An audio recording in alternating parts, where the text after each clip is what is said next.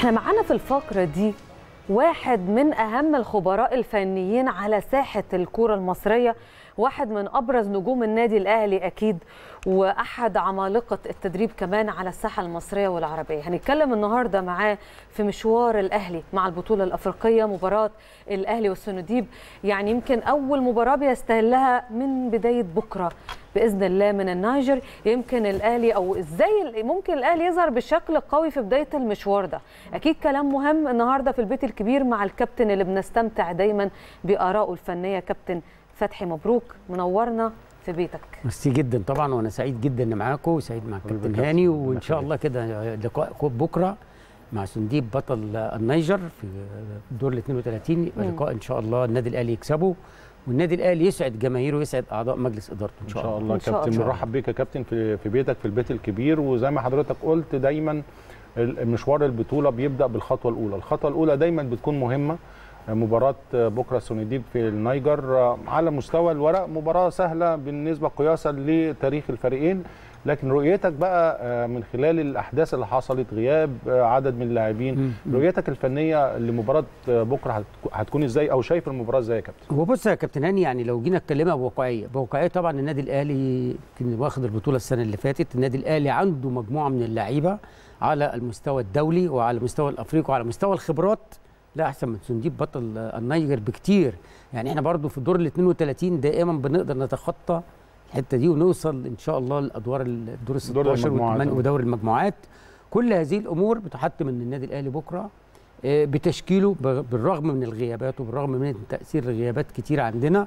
ولكن أنا شايف إن النادي الأهلي بيحمل مجموعة مسافرين مجموعة كويسة مجموعة تستحق أيضا إن تلعب بكرة وإثبات الذات ليها في البطولة الأفريقية.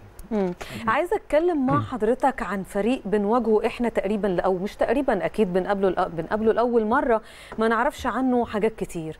ده بيكون صعب إنك ما, بت... ما يعني مش عارف المجهول ولا لأ بيسهل مهمة الفريق شوية يا كابتن فتح. لأ مين مين الأحسن على الساحه الافريقيه مين اللي المفروض يفرض أسلوبه؟ النادي الأهلي المفروض يسرد طبعا صاحب النادي الأهلي. النادي الأهلي النادي الأهلي بخبراته زي ما قلت لك بلاعيبته بجهازه الفني ب... بدائما النادي الأهلي مسيرته في القاره الأفريقية مسيرة كويسة جدا مسيرة أيضا فيها بطولات. سنديب بطل النيجر. ما حدش يمكن يمكن أول مرة نسمع عنه يا كابتن أنا أول مرة يشترك في هذه البطولة. فدائما النادي الأهلي يفرض أسلوبه على أي فرقة وخصوصا خارج ملعبه. هو وصل مرتين مرة للكونفدرالية ومرة دوري أبطال. يعني لكن ما كملش يعني. ال الفكرة نفسها طبعا هي جزئين وهاخد رأي حضرتك فيهم. البداية دايما بتبقى بداية رغم طبعا الفروق الفنية والفروق الفردية لصالحنا. لكن البداية بتكون مهمة. وكمان الجزء الآخر إن الفرقه زي دي وحضرتك أكيد عندك خبرات إنك بتلاعب فريق بلغة الكرة كده مش خسران حاجة. هو بيلاعب هو بيلعب مع بطل. مع بطل بطل أفريقيا. بيلاعب النادي الأهلي. المدير الفني بتاعه كمان بيحفز لعيبته بيقول لهم أنتوا لو عملتوا نتيجة جيدة ده هتتكتب في التاريخ.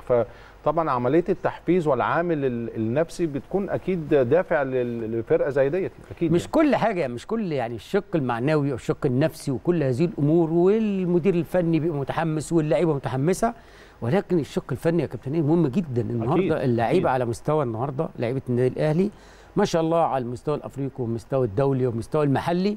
لا لعيبة كويسة. عشان كده بقول لك النادي الأهلي دائما هو اللي يبادر يبادر الفرقة دي النهارده. هو ما فيش بقى جس نبض وشو الفرقة دي بتلعب إزاي وكل هذه الأمور. درسوها كابتن. اتفرجوا على الفيديوهات. و... اتفرج على الفيديوهات. وممكن أكيد. الفرقة دي بتلجأ للكور الطويلة بتاع الأسلوب الأفريقي بتاع زمان. فالنادي الأهلي لازم يستثمر هذا الكلام ولازم يضغط يضغط من قدام. يعني دائما النادي الأهلي عنده وعنده من اللعيبة اولا لياقتهم كويسة بدنيا كويسين فنيا كويسين بيستوعبوا أي تكتيك. يعني ما فيش حاجة هتبقى صعبة عليهم. فهذه الأمور هذه الأمور أنا شايف إن الخطوة الأولانية أو الربع ساعة الأولانية مهمة جدا. جدا جدا جدا. ما تديش بقى سيبك من جس ما تدخلش بقى الفرقة الماتش معانا صح بس ما تديش بقى جس النبض واشوف الفرقة بتلعب إزاي ومش لا لا لا. كل هذه الأمور أنا شايف النادي الأهلي لازم هو اللي يبقى بادئ دائما وهو اللي يفرض أسلوبه وهو اللي يخلي الفرقة الثانية ترد فعل طب إحنا عندنا النهارده غياب غياب القيادة الفنية مستر موسيماني. ده اللي بتشوفوه مع حضرتك يعني بنشوفه مع حضراتكم ده ده جزء من تدريب النهارده من النيجر من نيامي.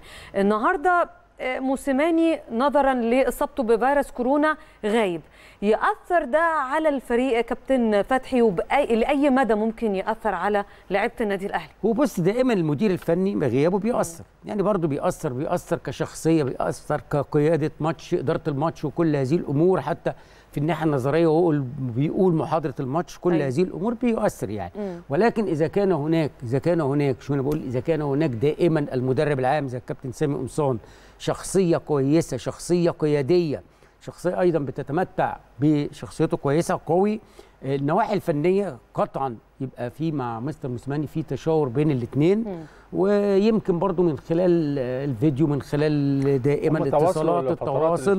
فبيحصل حاجات كتير جدا من خلال برضو التدريب ومن خلال أيضا رؤيته للمباراة. ولكن مين اللي هيقود الكابتن سامي قمصان يعني الكابتن سامي قمصان هو كيفن وكوتش جونسون. كيفن آه، طبعا آه هو آه. هو هو خلاص طبعاً هيقود سامي. بكرة هذا آه. اللقاء وأتمنى له التوفيق إن شاء الله مم. لأن زي ما قلت لحضرتك فرقة النادي الأهلي هتستوعب النهارده لو أنا جيت شرحت النهارده أسلوب لعب وتكتيك لعب خلاص اللعيبة بتستوعب هذا الكلام سريعا لأن هم اتعودوا على اللعب وتعودوا على أساليب لعب وتعودوا على التكتيك كل واحد النهارده اتعود حتى على واجبات وظيفته مم. فكل اللعيبة النهارده سهل جدا إن كابتن سامي قمصان إن شاء الله يقود بكرة الفريق آه، في غياب موسيماني. طب في نقطة يا كابتن برضو نقطة فنية وحضرتك آه، أعتقد عانيت منها وأنت لاعب وكمان وأنت مدير فني إن الأجواء المختلفة شوية. النادي الأهلي كان متعود فترات اللي فاتت حتى على مستوى المشوار الأفريقي إنه مم. بيلعب بالليل يعني تحت الأضواء. دي جزئية. الجزئية الثانية أرضية الملعب. أرضية الملعب آه، إحنا شفناها من خلال طبعا تقاريرنا وشفنا أرضية الملعب أرضية سيئة جدا. لما تكون أرضية الملعب سيئة والأجواء شوية مختلفة ممكن دوت يغير شوية من ال- الاستراتيجي بتاع ال- بتاعه إدارة المباراة إن إحنا على سبيل المثال إحنا بنلعب من تحت من وبنبني تحت. بنحضر وبنقدر نستحوذ شوية على الأداء الفني هو طبعا آه، آه، سوء أرضية الملعب بيرجع لإيه؟ هل فيها مطبات؟ هل آه هي هي قال كده ملعب إنه صغير؟ يعني هل ال- ما فيهاش نجيلة؟ ما الحاجات دي كتير قوي تقدر تقول سوء أرضية ملعب.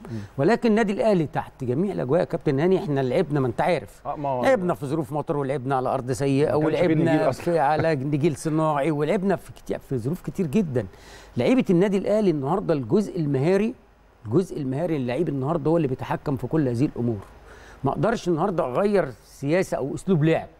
يعني ما يقدرش مثلا إحنا بنبدأ من تحت ما هلعب كورة طويلة؟ آه، أنا باخد أنا باخد رأي حضرتك الفني. يعني أنت لما بتلعب آه، بتحاول تطلع بالهجمة من تحت محتاج إنك تلعب الكرة على الأرض. الاستلام م. والتسليم في الأرض المستوى بيكون أفضل شوية. بيكون أفضل طبعا. تفتكر إن ممكن جدا النادي الأهلي يلجأ لجزئية إن إحنا نطلع بالكورة لتلت الملعب الأخير بأسرع طريقة؟ ده الملعب ده الملعب. كابتن يعني. حضرتك آه ده الملعب عامل ما هو إزاي. باين باين الملعب. ما هو باين. أرضيته باينة. ده أنا شايف يا كابتن برضو يعني اتهيألي ممكن يتعمل برضو نوع من الكنترول على الكورة. آه. لا لا ممكن يعني. ولكن الأرضية ما تقدرش تقول الأرضية حلوة قوي يعني. الأرضية زي ما قلت لك فيها حتى جزء جزء, ما فيهوش نجيلة. آه بالظبط. آه. وجزء فيه نجيلة يعني. أتمنى كده إن النادي الأهلي هو متعود على هذه الأجواء ومتعود على هذه الظروف ومتعود على كل أنواع الأرضيات دي خلي بالك. وزي ما قلت لك النهارده ال- الجانب المهاري مهم جدا. الجانب المهاري مهم جدا. إذا كانت هناك رؤية للجهاز الفني طبعا بمتابعة فرقة. آه، بطل نيجر. إذا كان هناك أخطاء في خط الدفاع أو بطء في خط الدفاع ممكن من زي ما أنت قلت يا كابتن إني ألجأ لكور طويلة وخصوصا إذا كان عندي السرعات قدام هقدر أستغلها. شفت إزاي النهارده زياده القايمة ل 40 لاعب؟ يعني شايف إنه ده قرار صحيح من الاتحاد الأفريقي لكرة القدم النهارده وإحنا عندنا أزمة أزمة الفيروس؟ لا هو بيدي بيدي فرصة برضو الأندية ان تشرك عدد كبير من اللعيبة على أساس إن برضو معلش يعني معظم الأندية اللي بتشترك في هذه البطولات بتلعب بطولة دوري وبطولة كاس آه. والبطولة الأندية الأفريقية. فكل هذه الأمور مم. بتحتم على الاتحاد الأفريقي إن هو يخلي ال- القايمة 40 عشان طيب. حتى لو في إصابات كتير يبقى عنده عشان لو في كافي إصابات يعني. وهو عمل حساب السنة دي اللي عمل حساب عشان فيروس كورونا وفي لعيبة كتير بتغيب يعني في لعيب من عندنا من النادي الأهلي غايبة في لعيبة من أندية كتير بتغيب ب 10 و11 لعيب وكلام كل هذه الأمور فالاتحاد الأفريقي يمكن سهل على الأندية برضو مم. إن هي يمكن 40 لعيب على أساس لو في أي إصابات بفيروس كورونا يبقى عنده البدائل اللي يقدر يلعب بيها وما. يقدرش يأجل كمان ما عنده عشان كده مش عايز هو تأجيل. ما ما يقدرش يأجل كمان فدايما يقول لك يقول أنا اديتك 40 بالظبط. اديتك 40 لعيب اتصرف ما أقدرش أجل ما هو النهارده برضو اللي لعبها رمى الكورة زي ما بنقول في. أرضية ال- خلاص. الأندية ما جيش بقى نادي النهارده عنده ستة سبع لعيبة مصابين بفيروس كورونا ويقول لك أنا عايز أجل لا أنت عندك 33 لعيب. أنا مديك الحرية النهارده 40 لعيب. طيب أنا صحيح. عايزة أرجع تاني للفريق اللي إحنا هنواجهه بكرة إن شاء الله. فريق سنديب يعني قد تكون المباراة سهلة. سهله على فريق بحجم النادي الأهلي بكرة. لكن إحنا بنتكلم عن فريق ممكن يكون يعني بيعاني في الدوري لكن لا مختلف أداؤه في ال- البطولات الأفريقية. يعني يمكن شفنا ده مثلا في برشلونة. النهارده برشلونة بيعاني في الدوري محقق في دوري أبطال افريقيا باوروبا يعني مجمع كان 15 بونت تقريبا خسر ماتش. خسر ماتش آه يعني وعنده أزمة كبيرة جدا في الدوري. فشايف إنه ممكن تحصل المفارقة ممكن تحصل مفاجآت بكرة غير متوقعة؟ لا أنا شايف لا. يعني أنا بالنسبة لي فنيا شايف إيه؟ شايف لا. شايف النادي الأهلي له الافضليه النادي الأهلي زي ما قلت لك خبرات لعيبته نتائجه في البطولة الافريقيه السنة اللي فاتت واخد بطولة. مم. نتائجه أيضا في الدوري المحلي على قمة الجدول بست نقاط في المباراتين اللي كسبهم. كل هذه الأمور بتحتم على لعيبة النادي الأهلي إن كمان إن النادي الأهلي يكسب هذه المباراة. لأن زي ما قلت لك هو الفرقة اللي هتلعب. يعني إحنا برضو بنتكلم بواقعيه إذا كان النهارده النادي الأهلي بيوصل لمستوى النهارده على مستوى اللياقة والمستوى الفني ومستوى التكتيك وكل هذا 8 من 10 الفرقة دي هتلاقي على الأقل على الأقل 2 3 من 10 وزي ما قلت لك إحنا لازم الفرقة دي يبقى في رد فعل. يعني رد فعل لاسلوب النادي الاهلي واداء النادي الاهلي وتكتيك النادي الاهلي. طب بنتكلم للتكتيك كابتن هخش معاك مع حضرتك في نقطة فنية شوية بالنسبة لتشكيلة النادي الاهلي. ما اعتقدش هيكون في تغيير كتير في التشكيل لكن النقطة اللي الناس بتتكلم عليها أو طبعا الخبراء بيتكلموا عليها غياب قفشة. قفشة رقم 10 ال- تفتكر؟ يعني طبعا في غياب عمرو السولية في غياب عم آه، ربيعة في غياب طبعا قفشة دول الثلاثه اللي ما سافروش مع النادي الأهلي. فلو اتكلمنا عن التشكيل ومين اللي ممكن يقوم بدور صانع اللعب آه، بكرة أمام آه، سوني ديب؟ هو طبعا لو جينا بس يعني ده وجهة نظر برضه. ما أعرفش طبعا لو محمد الشناوي طبعا محمد هاني في الجنب محمد هاني بدر بنون طبعا أيمن أشرف لأن هذا الخط ثابت. علي معلول. هيلعب آه، ديانج حمدي فتحي الاثنين إذا كان هناك إذا كان هناك نية إن يلعب 4 3 3 هيبقى أكرم توفيق. وارد جدا يلعب بأكرم توفيق. أنت يا كابتن تفكر إزاي لو مكان موسيماني وعندك غيابات قفشة؟ حضرتك ممكن تلعب يعني تلعب 4 3 3 وتأمن شوية كثافة نص الملعب على حساب 10 ويبقى عندك طرفين وراس حربة ولا تلعب 4 4 2 تكسب برضه نص الملعب وتلعب براسين حربه حربة؟ يعني رؤية حضرتك الفنية نعيش أنا- المباراة مع بعض أنا ألعب 4 3 3 4 ولكن لازم يبقى حد مكان قفشه ما- حد صانع لعب حد ليه رؤية كويسة حد يقدر ينقل الجانب الأيمن الجانب الأيسر حد النهارده يقدر برضو يكمل تحت رأس الحربة. كل هذه الأمور هي لازم مواصفات لعيب من الثلاثه اللي أنا قلت عليهم. مين أقرب واحد للثلاثه دول؟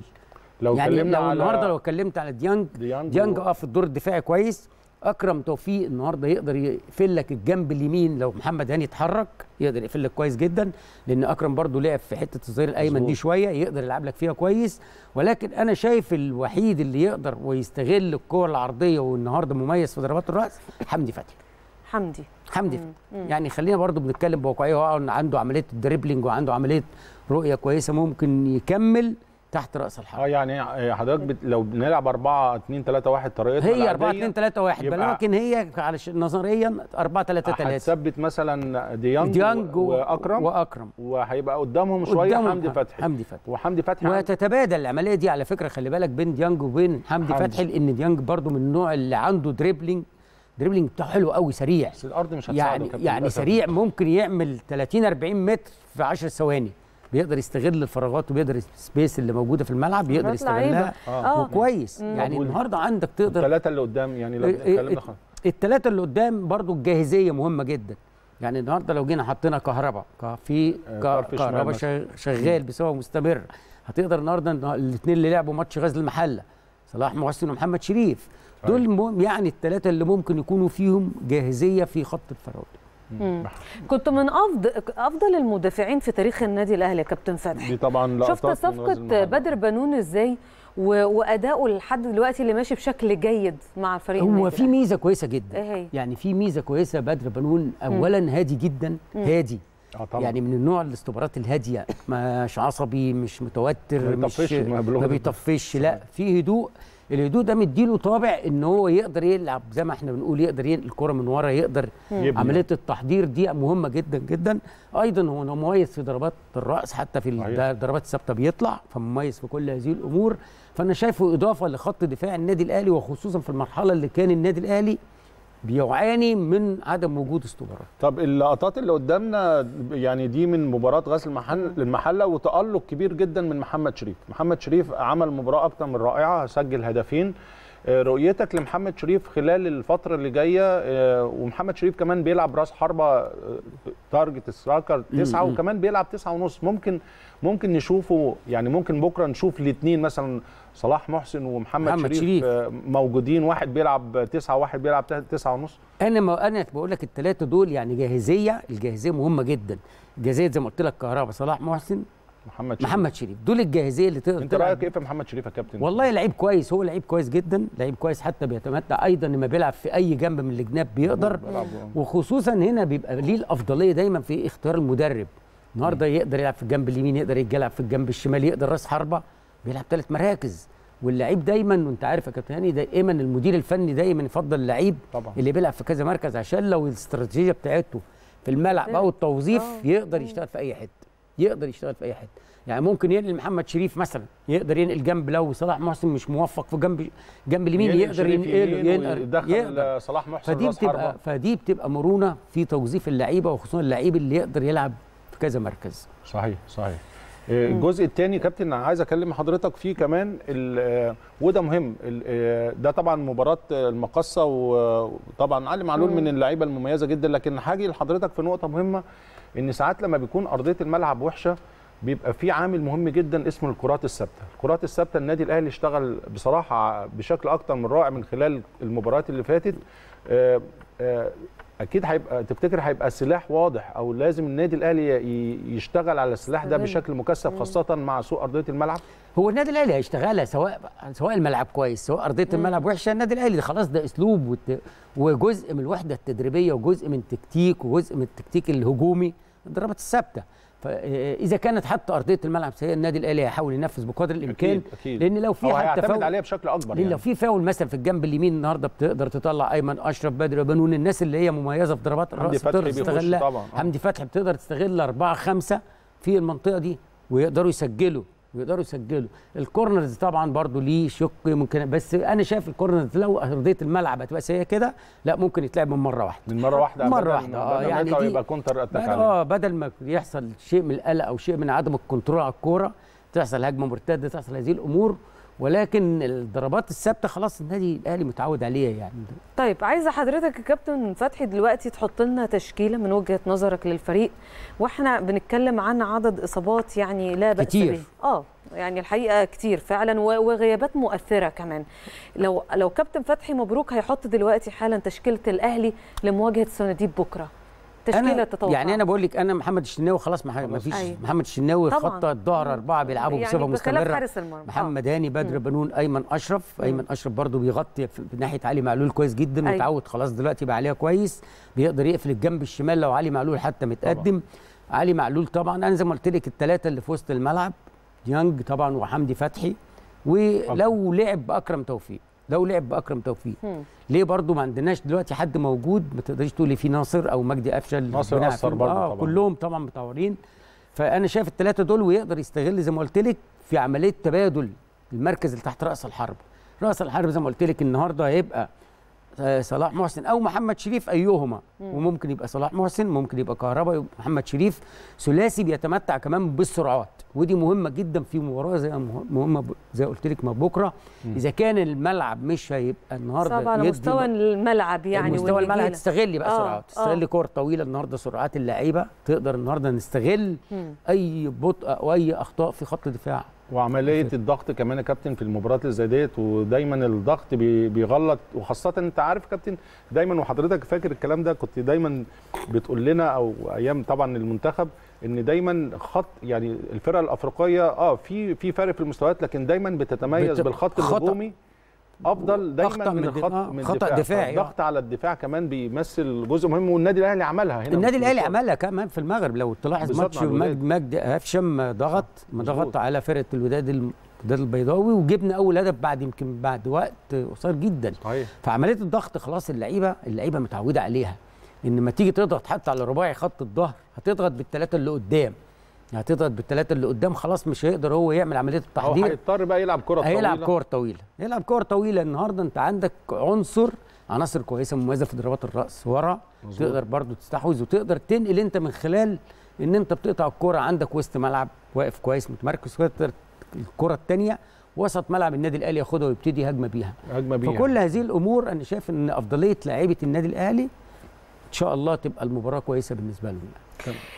كل مباريات الأهلي تقريبا في الدوري و يعني آه يعني عدد كبير جدا من المباريات يمكن خاضها النادي الأهلي مساء كانت بتبقى بالليل.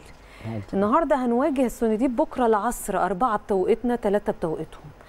ممكن ده يأثر يكون في نوع من التأثير على حالة اللعيبة كابتن فتحي؟ لا أنا برضو شايف لا. شايف لأ؟ شايف لأ مع- من رغم من التكيف طبعا إحنا سافرنا لحد اللعيبه سافرت لحد يعني اتمرنت اتنين تلات. أيوه. عملية التكيف دايما بتاخد 48 ساعة أو أو 72 ساعة بالكتير قوي. اللعيبة قطعا قطعا هيتمرنوا في توقيت نفس توقيت ميعاد المباراة. المباراة. ميعاد المباراة. فخلاص اللعيب يتعود آه. النهارده. هل الجو رطوبة؟ هل الجو حر جدا؟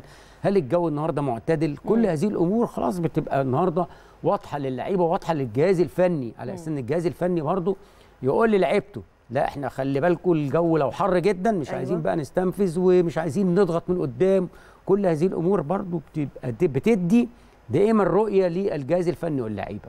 فأنا شايف المباراة لو اقيمت الساعة 3 حتى هناك أنا شايف أداء النادي الأهلي ما فيش مشكلة بالنسبة له لأن برضو النادي الأهلي غالبا في فترات كتيره برضو يا كابتن هاني كان بيتمرن فترة فترة الظهر. يعني فترة الظهر حتى هنا في القاهرة كان بيتفرج بس إحنا حتى يعني من خلال فاروق صلاح طبعا اللي بيلازم بعتتنا النهارده كان بيتكلم عن أجواء مش طبيعية.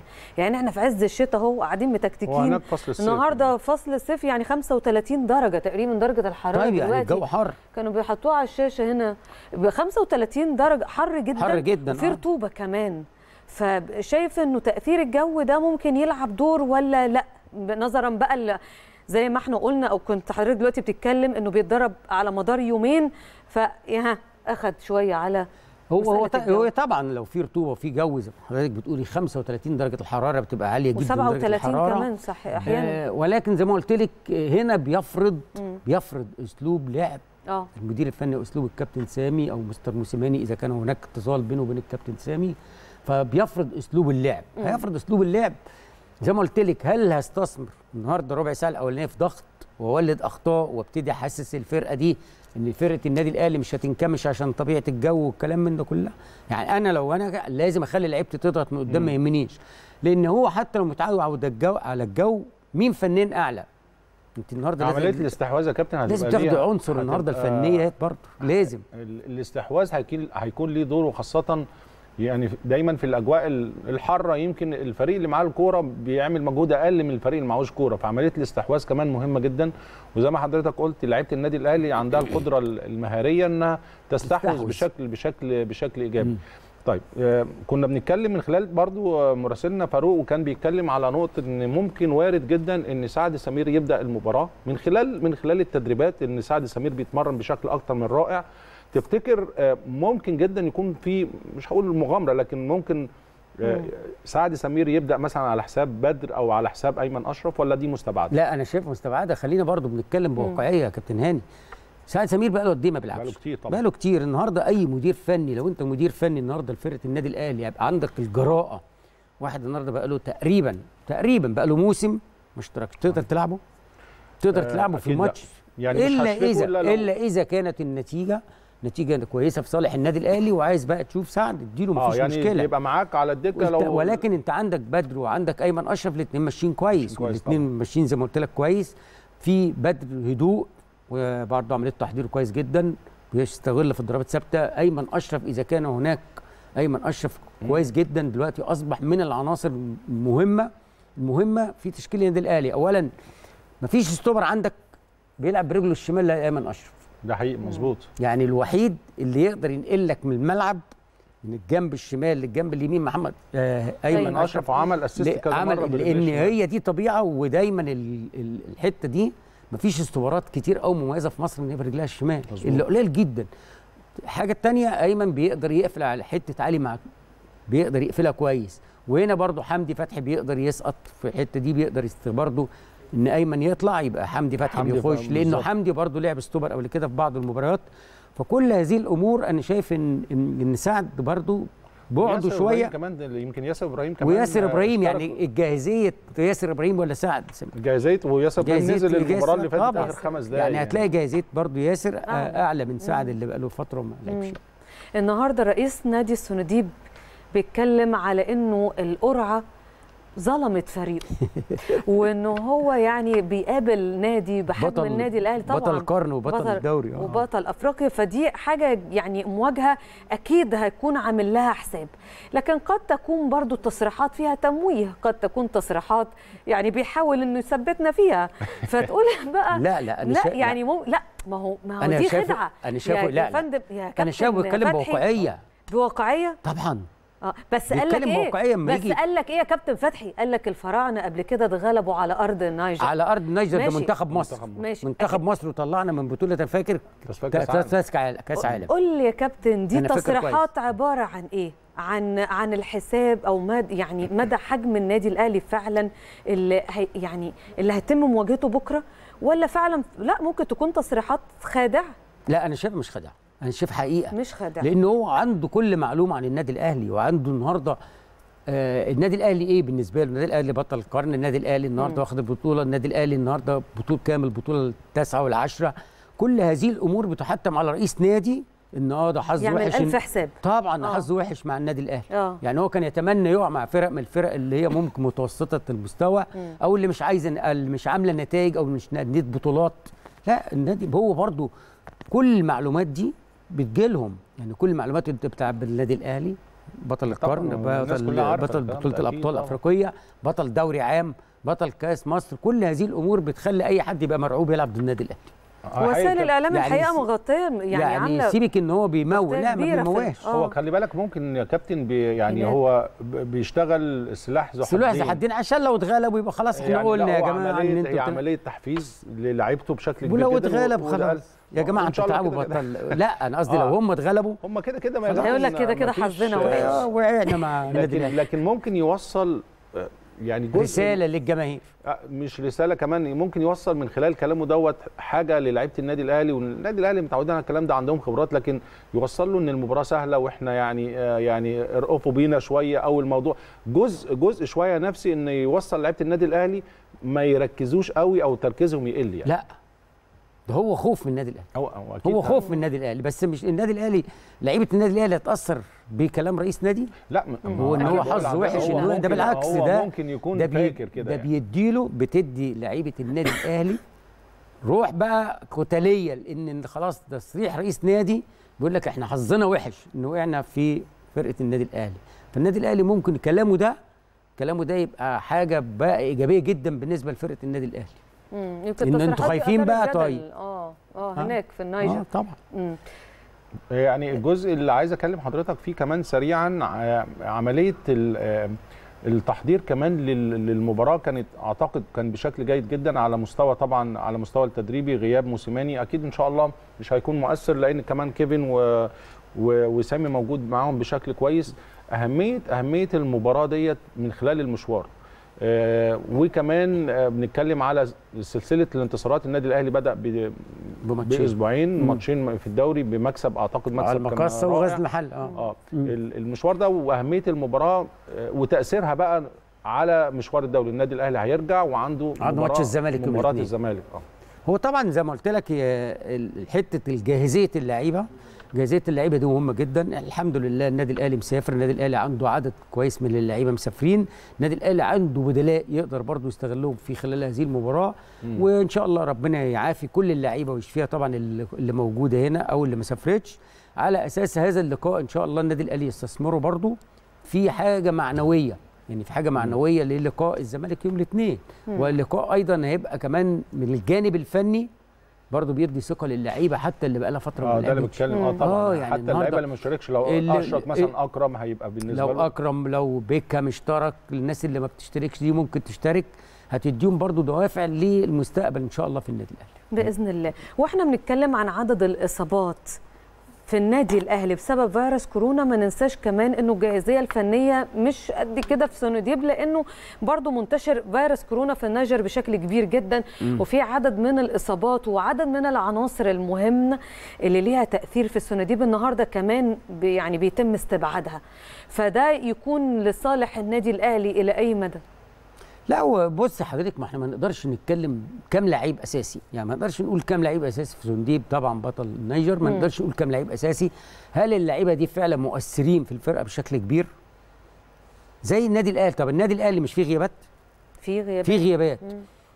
هل الغيابات دي هتبقى مؤثرة على النادي الأهلي ولا النادي الأهلي دائما اللي موجود. يقدر يغطي. النهارده. ويقدر النهارده يبقى في بدائل النهارده على نفس المستوى وعلى نفس الروح وعلى نفس ال...